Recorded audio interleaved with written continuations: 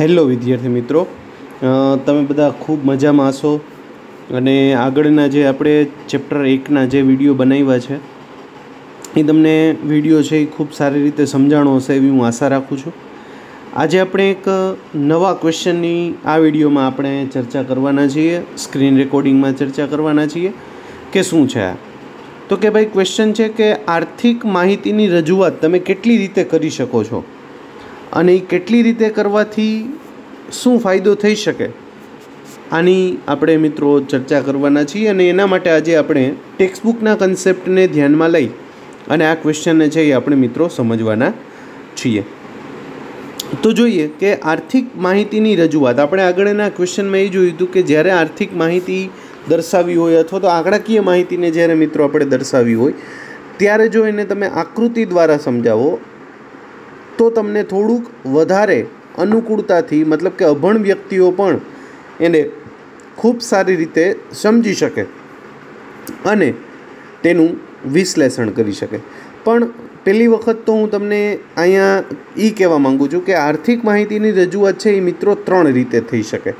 કોઈ પણ આર્થિક પ્રશ્ન હોય તો એને ત્રણ રીતે આપણે મિત્રો રજૂ કરી શકતા હોય. એમાં પહેલું છે, ભાષા દ્વારા વર્ણાત્મક મતલબ કે તમે સારામાં સારા ભાષાનો ઉપયોગ કરીને, મતલબ કે હું અત્યારે તમને એમ સમજાવવા માગું છું કે એક વિદ્યાર્થી છે કે એને દસમા ધોરણની અંદર પચાસ માર્ક્સ આવ્યા હતા, બારમા ધોરણમાં સિત્તેર માર્ક્સ આવ્યા હતા. તો હું ભાષા દ્વારા સમજાવી શકું કે બારમા ધોરણમાં જે સિત્તેર માર્ક્સ આવ્યા છે એ એના વધારે છે દસમા ધોરણ કરતાં. અને દસમા ધોરણમાં જે માર્ક્સ આવ્યા છે એ બારમા ધોરણ કરતાં ઓછા છે. તો આ ભાષા દ્વારા હું તમને સમજાવી શકું અને હું જો આંકડા દ્વારા સમજાવું મિત્રો, તો હું એમ કહી શકું કે દસમા ધોરણ કરતાં બારમા ધોરણની અંદર એને માર્ક્સ જે આવ્યા છે એ વીસ માર્ક્સ વધુ આવ્યા છે અને દસમા ધોરણમાં જે માર્ક્સ આવ્યા હતા એ બારમા ધોરણ કરતાં વીસ માર્ક્સ ઓછા આવ્યા હતા. તો મેં ભાષા દ્વારા પણ સમજાવ્યું મેં આંકડાઓ દ્વારા પણ સમજાવ્યું અને આ જ વસ્તુને હું મિત્રો તમારી સમક્ષ આકૃતિ દ્વારા પણ છે એ હું સમજાવી શકું છું. એટલે તમે જોશો તો આર્થિક માહિતીની રજૂઆત મિત્રો ત્રણ રીતે થઈ શકે. એમાંથી પહેલી રીત જે છે એને કહેશું ભાષા દ્વારા, બીજી છે એને આંકડાઓ દ્વારા, અને ત્રીજી છે એને આકૃતિ દ્વારા. એટલે ટૂંકમાં આ ત્રણ રીતે દર્શાવી શકાય, પણ એનું એક એક્ઝામ્પલ છે એ મિત્રો આપણે લઈએ. કે એનું એક્ઝામ્પલ શું છે? જો તમે પહેલું કીધું છે, જેમ કે માંગના નિયમમાં આપણે શું સમજશું? એની વાત છે એ પહેલાં આ ભાષા દ્વારા આપી છે. જે આ, જે આખી વ્યાખ્યા છે તમારી સમક્ષ અહીંયાથી લઈ અને આ સુધીની વ્યાખ્યા. એ તમને ભાષા દ્વારા સમજાવવામાં આવી છે. મતલબ કે આ છે એ આપણી એક ભાષા શબ્દથી વાત કરવામાં આવી છે. ત્યાર પછી એના પછી છે એ બાબત છે એ આ બધી જ, આ બાજુમાં જે કોષ્ટક આપ્યું છે, આ આંકડા દ્વારાનું કોષ્ટક છે.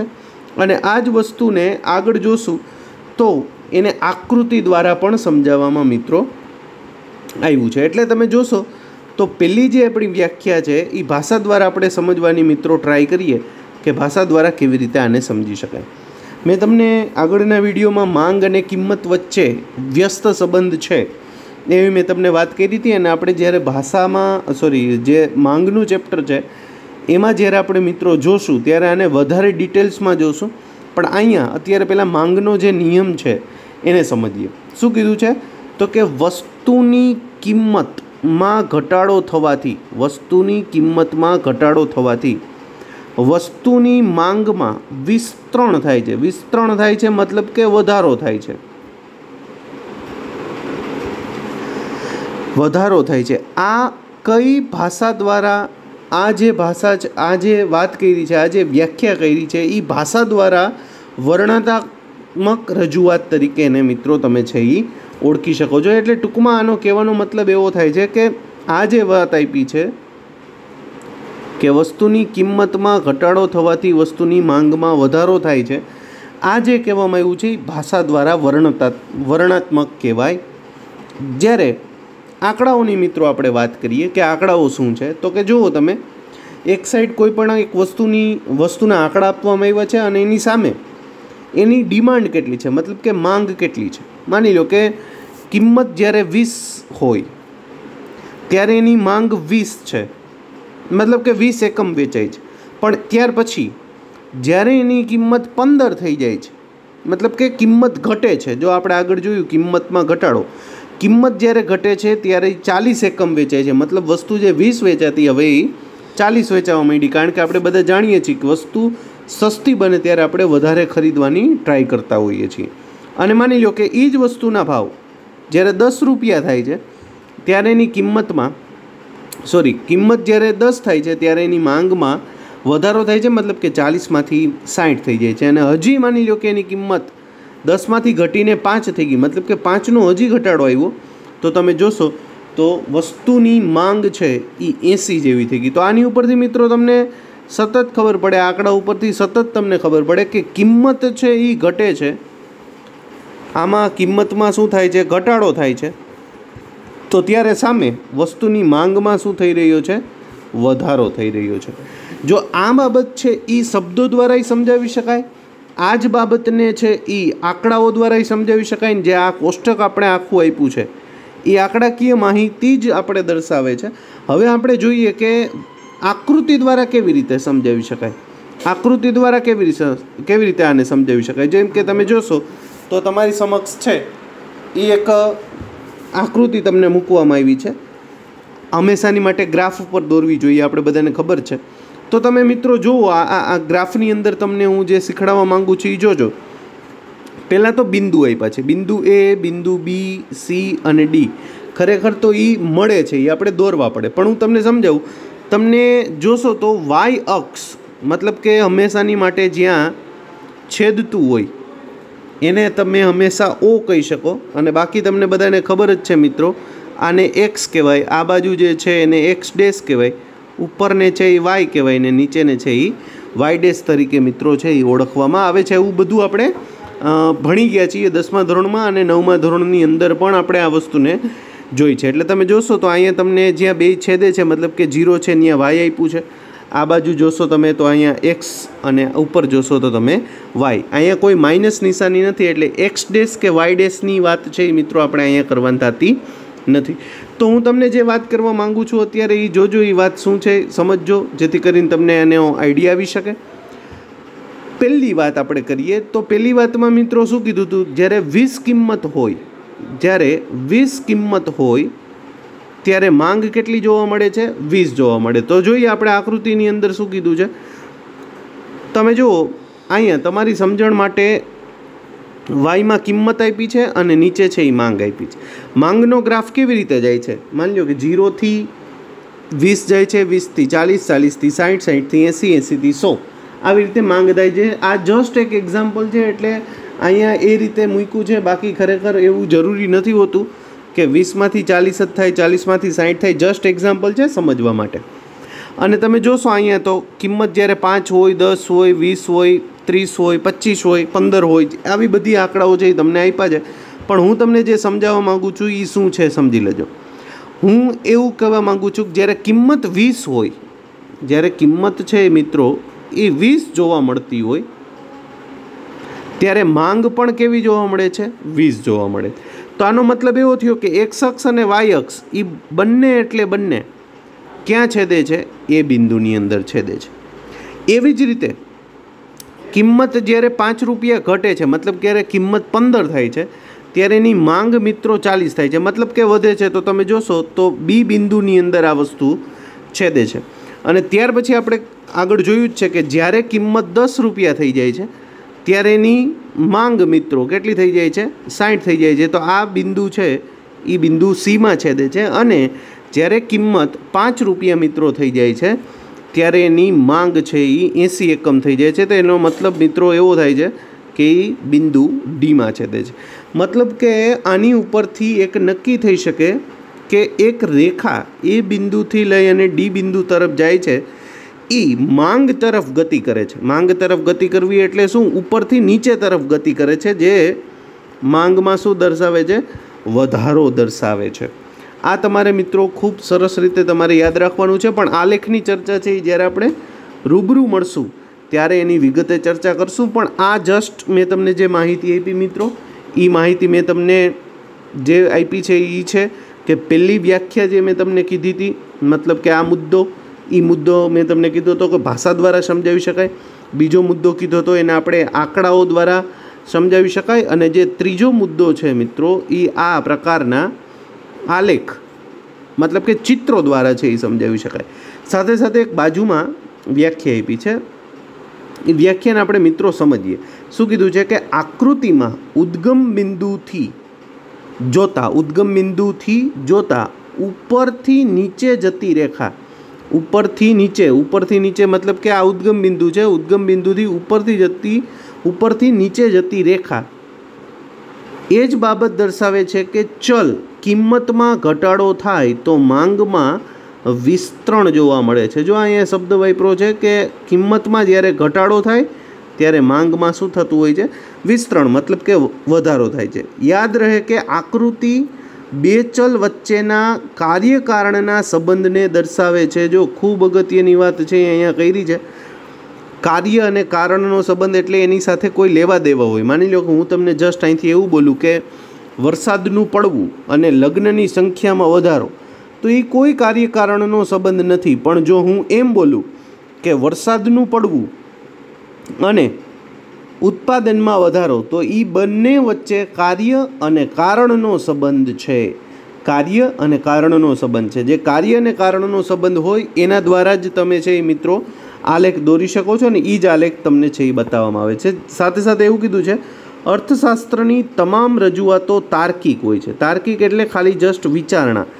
જો અને તોના સ્વરૂપમાં તે રજૂ થાય છે, મતલબ કે આપણે અહીંયાથી જસ્ટ એને સમજીને અને તર્ક વિતર્કથી જ આપણે આને સમજવાના હોય છે અને ધારેલી પરિસ્થિતિમાં જ તે વધારે સાચી પડે છે. અને તાર્કિક રજૂઆતને વધારે આધારભૂત બનાવવા માટે, વધારે આધારભૂત બનાવવા માટે મિત્રો, સૌથી જો કોઈ અગત્યની વાત હોય તો એ આંકડાકીય માહિતી છે. એ ખૂબ સારી રીતે સમજી શકાય એવી અને વ્યવસ્થિત હોવી જોઈએ. એટલે આ ક્વેશ્ચન અહીંયા મિત્રો આપણે પૂરો થાય છે. ક્વેશ્ચન હતો આર્થિક માહિતીની રજૂઆત કેવી રીતે કરી શકાય અને કેટલી કેટલી રીતે કરી શકાય. તો આપણે જોયું કે ભાષા દ્વારા કરી શકાય, આંકડાકીય માહિતી દ્વારા કરી શકાય અને આંકડાકીય માહિતી ઉપરથી તમે જોશો તો આકૃતિ દ્વારા છે એની રજૂઆત કરી શકાય છે. નેક્સ્ટ આપણે ક્વેશ્ચન સમજવો છે જો કે આપણે વચ્ચેનો જે ક્વેશ્ચન છે કે આંકડાકીય માહિતીનું મહત્ત્વ શું છે, એની ચર્ચા આપણે આગળના વિડીયોમાં કરી ગયા છીએ. પણ હવે આપણે જે વાત કરવી છે, તે વાત એ કરવી છે કે આંકડાકીય માહિતીને આકૃતિમાં કે આલેખમાં દોરતી વખતે કઈ કઈ બાબતનું તમારે ધ્યાન રાખવું પડે? તો કે સિમ્પલ વસ્તુથી જો આપણે વિચારીએ મિત્રો, અહીંયા સચોટતાથી આપ્યું છે. એવું કીધું છે કે તમારે જે રજૂઆત કરવી છે એમાં તમે જો જોવો, આ ક્વેશ્ચન છે એ મિત્રો ત્રણ અથવા તો ચાર માર્ક્સમાં પૂછી શકાય. એમાં કીધું છે કે જો રજૂઆત કરવી હોય તો તમારી પાસે સંશોધનના વ્યવસ્થિત તારણો હોવા જોઈએ. તમારી પાસે જેનો આલેખ તમે દોરો છો એના સિદ્ધાંતો હોવા જોઈએ. તમે જે વસ્તુ વિચારો છો એ વિશ્વસનીયતા પાત્ર હોવી જોઈએ.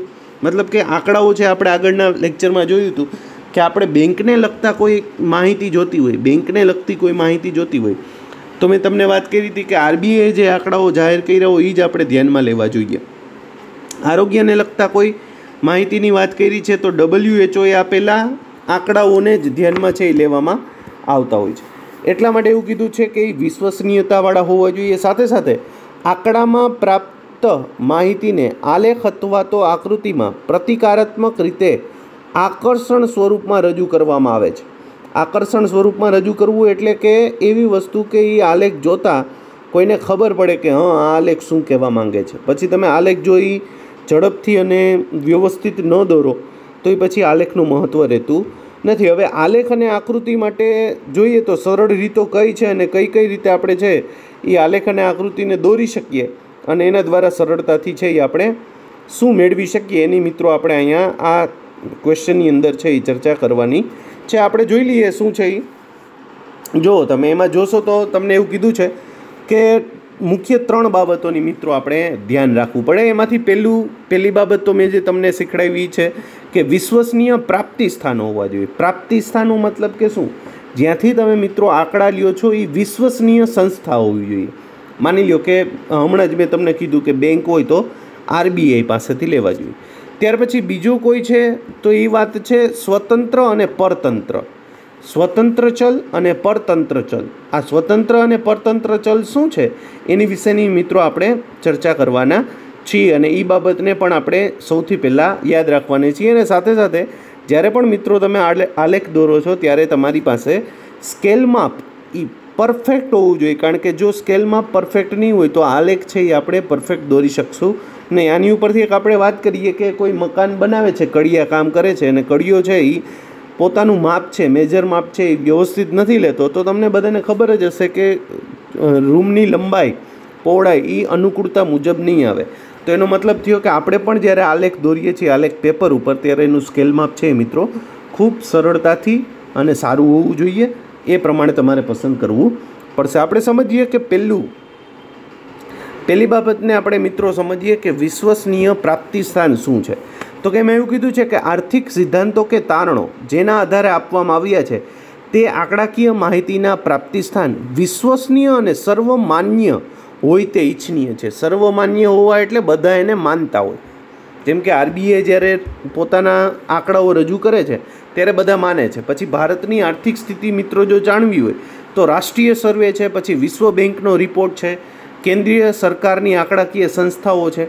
આ બધાના આંકડાઓ છે મિત્રો આપણે જાણવા પડે અને સમજવા પડે. ત્યાર પછી જ તમે છે એનું વિશ્લેષણ કરી શકો છો અને આ તમે એનો આલેખ દોરી શકો છો. જેમ કે જો એવું કીધું છે કે ભારતની આર્થિક સ્થિતિ દર્શાવવા માટે રાષ્ટ્રીય સર્વે વિશ્વ બેંકનો રિપોર્ટ અને કેન્દ્ર સરકારની આંકડાકીય સંસ્થાઓ વગેરેના આંકડાના આધારે આપણે આલેખ દોરવા જોઈએ ને એ જ આંકડાઓ આધારભૂત ગણવામાં આવે છે. આધારભૂત એટલે સાચા આંકડાઓ ગણવામાં આવે છે. એટલે જ્યારે પણ આલેખ અને આકૃતિ દોરીએ ત્યારે વિશ્વસનીય પ્રાપ્તિ સ્થાન હોવું ખૂબ અગત્યનું છે. ત્યાર પછી જોઈએ બીજો મુદ્દો છે આપણો સ્વતંત્ર અને પરતંત્ર ચલ. ચલ એટલે તમને બધાને ખબર છે કે કોઈ એક વસ્તુ ઉપર તમે આલેખ નથી દોરી શકતા. માની લો કે હું એમ બોલું છું કે વરસાદનું પડવું તો સામે કેટલું ઉત્પાદન થવું એ બીજો ચલ થયો. તો એમાં એવું આલેખ દોરતી વખતે કોઈ એક ચલને ધ્યાનમાં લઈને તમે આલેખ દોરી શકતા નથી. તમારે એક કરતાં વધારે એમાં ચલ જોઈએ છે. જો શું કીધું છે? બે કે તેથી વધુ ચલો વચ્ચેનો સંબંધ આલેખ અને આકૃતિ દ્વારા રજૂ થાય ત્યારે યાદ રાખવું જોઈએ કે સ્વતંત્ર ચલોને આડી ધરી પર અને પરતંત્ર ચલને ઊભી ધરી પર દર્શાવવામાં આવે છે. આડી ધરી અને ઊભી ધરી શું છે? હું ઝડપથી અહીંયા તમને સમજાવું છું, મેં હમણાં જ આપણે આગળ જ વાત કરી હતી. માની લ્યો, આ છે એ ઊભી ધરી કહેવાય અને આ છે એને આડી ધરી તરીકે મિત્રો ઓળખવામાં આવે. આ બધાને ખબર છે કે આને એક્સ અને આ બાજુ એક્સ ડેશ તરીકે ઓળખવામાં આવે અને અહીંયા વાય અને નીચે વાય ડેશ તરીકે એને ઓળખવામાં આવે છે. એટલે જે ધરી આડી ધરી છે, માની લો કે આ આડી ધરી છે, તો આને તમે સ્વતંત્ર ચલ તરીકે ઓળખી શકો છો અને આ ઊભી ધરી જે છે એને પરતંત્ર ચલ તરીકે ઓળખી શકો છો. હું ઝડપથી કહી દઉં, સ્વતંત્ર ચલ એટલે શું અને પરતંત્ર ચલ એટલે શું? સ્વતંત્ર ચલ એવા હોય કે જેમાં સમય અનુકૂળતાએ ફેરફાર થાય. પણ એ ફેરફારો પણ મિત્રો કેવા હોય છે? તમને બધાને ખબર પડે. જેમ કે હું તમને એમ કહું કે ઓગણીસો દસ પછીની વાત છે એ આપણે ઓગણીસો ને વીસની કરવાની છે. વીસ પછી ત્રીસની કરવાની છે, ત્રીસ પછી ચાલીસની કરવાની તો એ ચાલીસ પછી સીધા એંસી ન આવે. એ ખબર છે ચાલીસ પછી સીધા પચાસ આવે. તો જે નો ફેરફાર, જે ચલનો ફેરફાર નિયમિત છે, સરખાવી શકાય છે, એને સ્વતંત્ર ચલ કહેવાય. અને પરતંત્ર ચલ એટલે શું? કે જેનો ફેરફાર આપણે મિત્રો ખબર નથી, જે કોઈક બીજા ઉપર આધારિત છે. માની લો કે હું એમ તમને કહું કે રાષ્ટ્રીય આવકમાં વધારો કે ઘટાડો એ આપણા ઉપર આધારિત નથી, તો આવક ઉપર આધારિત છે. ગરીબી, બેરોજગારી, આ બધા ચલ જે છે એ પરતંત્ર ચલ તરીકે ઓળખાય, જેના ફેરફાર આપણે મિત્રો ખબર હોતી નથી. તો હું ફરીવાર બોલું કે સ્વતંત્ર ચલ છે એ એક્સ ધરી ઉપર દર્શાવવામાં આવે અને પરતંત્ર ચલ છે એ મિત્રો વાય ધરી ઉપર દર્શાવવામાં આવે. સ્વતંત્ર ચલ છે એ આડી ધરી અને પરતંત્ર ચલ છે એ મિત્રો ઊભી ધરી પર દર્શાવવામાં આવે છે. એટલે ખૂબ યાદ રાખવા જેવી બાબત જો કોઈ હોય, તો એ આડી ધરી અને ઊભી ધરી પર રાખવામાં આવે. દાખલા તરીકે દેશ છે, વર્ષ છે, વરસાદ છે એ સ્વતંત્ર ચલ છે, જ્યારે વસ્તી, આવક, ઉત્પાદન એ પરતંત્ર ચલ છે. ખરેખર તો આમાં વરસાદનું એક્ઝામ્પલ છે, એ ત્યાં સ્વતંત્ર ચલમાં ખોટું લીધું છે, કારણ કે એ વરસાદ છે એ આખો તમે જોવા જાઓ તો એ કુદરતી વસ્તુ છે, જે ના ગણી શકાય. પણ દેશ છે તો આપણે બધાને ખબર છે, વર્ષ છે તો આપણે બધાને ખબર છે, આ બધા નિશ્ચિત છે. જ્યારે વસ્તી છે એ આપણી ઉપર આધારિત નથી, આવક છે એ આપણી ઉપર આધારિત નથી, ઉત્પાદન છે એ આપણી ઉપર આધારિત નથી. એટલે બીજા ઉપર આધારિત છે, તો એને પરતંત્ર ચલ તરીકે ઓળખવામાં મિત્રો આવે છે. બે ચલ વચ્ચેના કાર્યકારણના સંબંધમાં એક ચલ કારણરૂપ હોય છે. દાખલા તરીકે જો વર્ષ સ્વતંત્ર છે, એટલે કે એને ઓ એક્સ ધરી પર દર્શાવવામાં આવે છે અને ઉત્પાદન છે એ પરતંત્ર છે, તો એને ઓ વાય ધરી ઉપર દર્શાવવામાં આવે છે. ઝડપથી એક એક્ઝામ્પલ લઈ લઈએ. માની લો કે તમારે જ્યારે વર્ષ દર્શાવવાના થાય, એક તો ખાસ અગત્યની વાત હજી કહેવા તમને માગું છું કે કોઈ માની લો કે હું અહીંયા આલેખ દોરું છું, તો એ આલેખ હંમેશા આવો જ હોય છે. તમે જોશો તો એ આલેખ છે એ આ જ હોય છે. આનું મુખ્ય કારણ શું? આ ભાગ સૌથી વધારે હોવાનું કારણ શું? તમને કહી દઉં કે આ તમે ભણી ગયા છો પાંચમા ધોરણમાં, આ પ્રથમ ચરણ કહેવાય અને આ પ્રથમ ચરણની અંદર બેય ચલો હંમેશાની માટે મિત્રો કેવા આવતા હોય છે? પ્લસ આવતા હોય છે. એટલે પહેલું ચરણ જ હંમેશા લેવામાં આવે છે. બીજું ચરણ, ત્રીજું ચરણ કે ચોથું ચરણ? અહીંયા ધ્યાનમાં લેવામાં આવતું નથી. કારણ તમને બધાને મિત્રો ખબર છે કે અહીંયા અહીંયા અને અહીંયા. તમે જોશો તો અહીંયા માઇનસ માઇનસ આવશે. અહીંયા તમે જોશો તો પ્લસ માઇનસ આવશે અને અહીંયા છે એ પ્લસ માઇનસ આવશે. સોરી અહીંયા માઇનસ પ્લસ આવશે અને અહીંયા પ્લસ માઇનસ તમને મિત્રો જોવા મળશે. એટલે એનો મતલબ એવો થાય છે કે એ આ બધા છે એ માઇનસ નેગેટિવ નિશાનવાળા હોવાથી એને ધ્યાનમાં લેવામાં આવતા નથી. જે ખાસ તમારે મિત્રો યાદ રાખવાનું છે, એટલા જ માટે આલેખ છે એ હંમેશાની માટે પ્રથમ ચરણની અંદર દોરવામાં આવે છે. જસ્ટ હું આ તમને સમજાવું છું, જે તમને યાદ રહી. જો કે અર્થતંત્રમાં માંગના નિયમની રજૂઆતમાં કારણરૂપ પરિબળ કિંમત છે એ ઊભી ધરી ઉપર અને ત્યાર પછી છે એ માંગ છે એ હંમેશાની માટે મિત્રો આડી ધરી ઉપર છે એ દર્શાવવામાં આવે છે. જો આપણે આનું એક પરફેક્ટ જે છે એ એક જોયેલી આપણે તમને ખબર પડી જાય કિંમત છે એ હંમેશાની માટે તમે જોશો તો ઊભી ધરી ઉપર અને માંગ છે એ મિત્રો આડી ધરી ઉપર. કારણ શું? તો ભાઈ કિંમત નક્કી છે પાંચ, દસ, પંદર, વીસ, પચીસ. એ આપણે નક્કી કરી રાખી છીએ જ્યારે સામે માંગ છે એ આપણે નક્કી નથી કરી શકતા. કારણ કે માંગ છે એ ગ્રાહકો નક્કી કરે કે કેટલું ખરીદવું. એટલે આને આને તમે જોશો તો આને સ્વતંત્ર ચલ તરીકે ઓળખવામાં આવે છે. અને આને પરતંત્ર ચલ તરીકે મિત્રો તમે ઓળખી શકો છો. એટલે આ ખૂબ અગત્યની વાત જે મેં તમને કીધી, તમારે ખૂબ યાદ રાખવાની થશે. અને છેલ્લો મુદ્દો છે અહીંયા. સ્કેલ માપની પસંદગી કરવી. આંકડાઓને સ્કેલ માપ એટલે શું મિત્રો? બે એકમ વચ્ચે કેટલો જગ્યા રાખી શકો? તમને હું જો અહીંયા એક વસ્તુ બતાવું છું જેને તમે એક્ઝામ્પલ દ્વારા છે એ તમે સમજી શકો. આ સ્કેલ માપ છે. એક શખ્સ છે એ બે સેમી બરાબર એક એકમ લીધો છે. બે સેમી બરાબર એક એક એકમ લીધો છે અને વાય અક્ષ છે એ એક સેમી બરાબર પાંચ રૂપિયા તરીકે તમને છે એ અહીંયા લેવામાં આવ્યા છે. હવે આ બે સેમી બરાબર એક એકમ એટલે શું? તમે જોશો, આની અંદર તો તમને ખૂબ ઓછી રીતે સમજાવી શકાય, પણ તમે જોવો તો આલેખ બુકની અંદર છે આવા પાંચ પાંચના બે લાઈન હોય. એટલે અહીંયા પ્રોપરલી આપણી પાસે આલેખ નથી, બાકી વચ્ચે વચ્ચે અહીંયા બધાને ખબર જ હશે કે એ પાંચ પાંચના મુખ્ય ખાના હોય. તો અહીંયા કેટલા એકમ થયા? તો કે આ એક સેમી અને આ બીજું સેમી. આ પહેલું સેમી અને આ બીજું સેમી. તો બીજા સેમી બરાબર એક એકમ છે એ લેવામાં આવ્યો છે. અને વાય એક્સ ઉપર પણ તમે જોશો તો એક સેમી બરાબર પાંચ એકમ લેવામાં આવ્યું. જો અહીંયા એક સેમી છે, અહીંયા એક સેમી છે, અહીંયા એક સેમી છે આ એક સેમી છે. જ્યારે અહીંયા બે સેમી બરાબર મિત્રો તમને એક એકમ લેવામાં આવ્યું છે. આને જે વાત કરીએ છીએ, આને આપણે સ્કેલ માપ કહી શકીએ. હવે જો હું અહીંયા એક લઉં, અહીંયા એક સેમી લઉં, પછી આની વચ્ચે ત્રણ સેમી લઉં, આની વચ્ચે વળી પાછું એક લઉં, આની વચ્ચે બે સેમી લઉં તો આનો ગ્રાફ છે એ કમેડિયો દેખાય અને કોઈ સમજી પણ ના શકે અને એ ચાલે પણ નહીં. અને અહીંયા હું એક સેમી લેવાની જગ્યાએ બે ત્રણ સેમી લઉં. મતલબ કે જુદું જુદું માપ લઉં. તો એ મિત્રો ચાલતું નથી. એટલે તમારે આલેખ છે એ પરફેક્ટ રીતે રજૂ કરવા માટે મિત્રો ફરજિયાત રીતે સ્કેલ માપની છે એ પસંદગી છે એ યોગ્ય રીતે કરવી જોઈએ. જો શું કીધું છે કે આંકડાઓને આકૃતિમાં યોગ્ય રજૂઆતમાં ગોઠવવા માટે યોગ્ય સ્કેલ માપ છે એ મેળવવા પડે છે. દાખલા તરીકે સમયને લગતી બાબત હોય તો દસ વર્ષ માટે એક સ્કેલ, મતલબ કે પાંચ લીટી અથવા તો દસ લીટી મૂકવી પડે ને એકવાર એ જે સ્કેલ માપ નક્કી કર્યો હોય તે આપણે રજૂઆત કરવી પડે. દાખલા તરીકે એક ઇંચ વરસાદ માટે એક ઇંચ માટે આપણે પાંચ વર્ષ વરસાદની સોરી એક ઇંચ માટે પાંચ વર્ષ નક્કી કર્યા હોય તો પછીના દરેક પાંચ વર્ષનો વધારો બનતા એક ઇંચ જ આપણે વધારે આગળ જવું પડે. મેં તમને કીધું ને હમણાં કે એકવાર પાંચ જાઓ, એકવાર સાત જાઓ, એકવાર દસ જાઓ તો એવું ચાલતું નથી. મોટી આંકડાકીય માહિતીને આકૃતિમાં ટૂંકા રૂપમાં દર્શાવતી વખતે જે તે ધરી ઉપર એસએસ નિશાની છે એ દર્શાવવી પડે. હવે માની લો કે મારી શરૂઆત છે. મારી જે શરૂઆત છે એ નવસોથી થાય છે. તો હું અહીંયા એસએસ કરી અને જો દર્શાવું તો એટલો કટ ઓફ કહેવાય એને, એટલે તમે એટલો કાપી અને આલેખ દોરો છો. ખરેખર તમે પાંચથી શરૂઆત કરો તો નવસો સુધી તમે ક્યારે પહોંચી શકો? અને ગ્રાફમાં એટલું બધું સમાય પણ નહીં.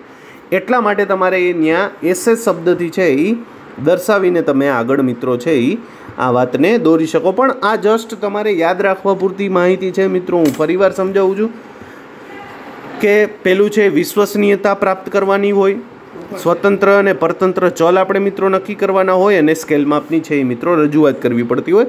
ખરેખર આ મિત્રો થિયરી છે જે કદાચ તમને ના સમજાય, તો હું સ્વાભાવિક રીતે સમજી શકું કારણ કે આને પ્રેક્ટિકલ કરીને મારે તમને રૂબરૂ સમજાવવું પડે એટલે જ્યારે પણ આપણે મિત્રો ક્લાસરૂમમાં ભેગા થશું અને ગ્રાફની જ્યારે ચર્ચા કરશું, ત્યારે ફરી વખત આ ક્વેશ્ચનને આપણે વ્યવસ્થિત રીતે સમજવાની ટ્રાય કરશું. અત્યારે એક્ઝામિનેશન અને તમને થોડી ઘણી માહિતી મળે. એ હેતુથી મેં આ તમને ક્વેશ્ચન સમજાવ્યા છે. આજના આપણા બે ક્વેશ્ચનો થયા મિત્રો કે ભાષાકીય જે બાબતો છે, આંકડાકીય માહિતી છે, અને આલેખ દ્વારા આપણે રજૂઆત કરવી, મતલબ કે આર્થિક માહિતીનું રજૂઆત તમે કેટલી રીતે કરી શકો તો કે ભાષા દ્વારા, આંકડા દ્વારા અને આકૃતિ દ્વારા, અને સાથે સાથે એક બીજી પણ આપણે રજૂઆત કરવાની હતી. એ શું હતું તો કે ભાઈ આપણે એવી વાત કરી હતી કે જ્યારે આપણે આંકડાકીય માહિતીને આકૃતિ અને આલેખ દ્વારા રજૂ કરીએ છીએ ત્યારે કેટલી વસ્તુઓને આપણે ધ્યાનમાં રાખવી પડે તો એ વસ્તુઓની પણ આપણે વાતચીત કરી લીધી એ પહેલું. વિશ્વસનીય પ્રાપ્તિ સ્થાનો તમારી પાસે હોવા જોઈએ. તમે ચલ નક્કી કરી શકવા જોઈએ. સ્વતંત્ર છે કે પરતંત્ર અને તમારો સ્કેલ માપ પણ છે એ મિત્રો પરફેક્ટ હોવો જોઈએ. જો આટલું હોય તો તમે આ બાબતની મિત્રો ચર્ચા કરી શકો છો. આજે આપણે સ્ક્રીન રેકોર્ડિંગમાં આટલું રાખીએ છીએ. હું આશા રાખું છું કે તમને આમાંથી ઘણું બધું સમજાણું હશે. જો મિત્રો તમને ક્યાંય પણ કોઈ પણ પ્રકારનો ડાઉટ્સ હોય, તો તમે મને ફોન અથવા તો મેસેજ દ્વારા જણાવી શકો છો. રજા લઈએ, ત્યાં સુધી મને રજા આપજો. Thank you